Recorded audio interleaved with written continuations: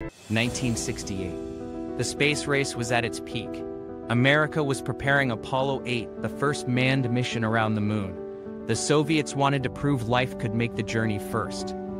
On September 14th, Zond 5 launched. Inside, two tortoises, fruit fly eggs, plants, bacteria. Not men, not women, but life, risking the unknown. As Zond 5 swung around the moon, tension gripped Moscow. No one knew if the creatures would survive. Radiation, vacuum, cosmic rays, all were threats.